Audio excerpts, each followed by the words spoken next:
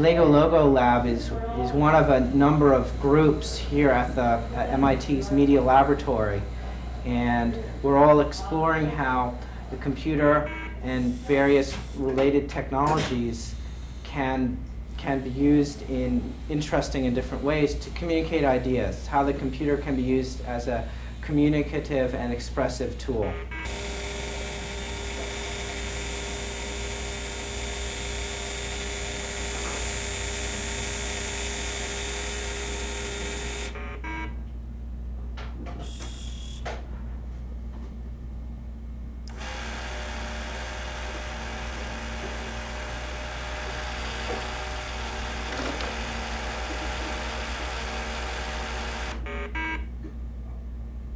We run workshops where we introduce these materials to teachers and children and encourage the teachers to use these materials in classrooms in a real free form and creative way where you know, basically kids can build what they'd like to. They could get an idea for a project, maybe the teacher can provide some theme, and then the child can work on his own or in, in a group and develop this idea into their own project.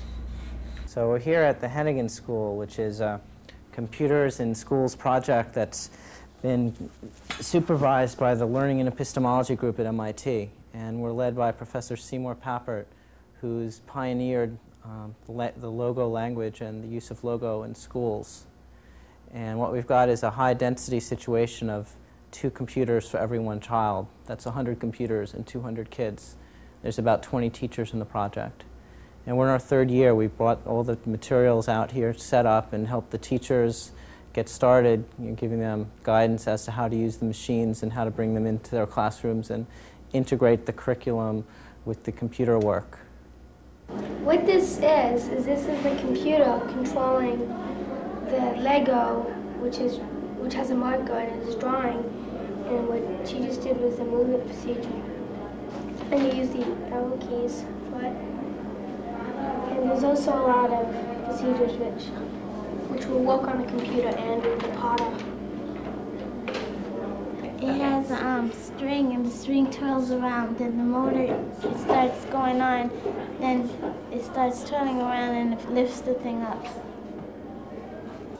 And like certain beeps of electricity and stuff, which tend, tell the motors how much to move and what to move.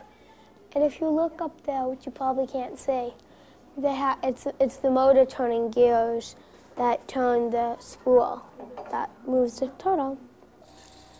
So what we have now is this set of materials, which includes all the mechanical parts you see, motors, the building blocks, pl plus sensor devices like the, the counter wheels I mentioned, and there's also touch sensors, so you, you can sense contact of two objects.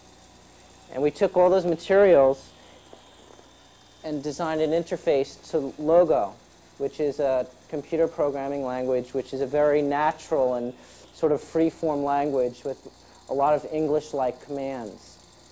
This particular drawing it's, it's, a, it's, it's, it's going to do is um, it's called a, I call it a spiral. It's a square spiral. And I'm drawing this only winding one motor at, at a time. And, that, and it, what, what this will generate, if you look at it mathematically, is an orthogonal space where in terms of the, the plotter, things are at right angles. All the angles you'll see in terms of the plotter, as far as the plotter is concerned, they're right angles. They are orthogonal. They're, they're opposite. It's either the left one or the right one. If you looked at it in terms of Cartesian, it would either be moving left and right or moving up and down. I think this could have a great pedagogical value for, for older kids who are studying geometry because normally what you encounter in high school is Cartesian geometry and that's it. And unless you have something to compare something to, it really doesn't have a lot of meaning. They like, they like it because it's something to do other than computers, which we have to do maps and flags and stuff like that. Well, a flag of a country may be easy, but a flag of Massachusetts, or those are hard. And on the computer, it takes a long time. But we have a lot of procedures on the computer because we each have our own account. What do you mean you have your own account. Well, we have a space where all the stuff we do is in one place for one kid. And when we go to there's did you see the circle of computers out there?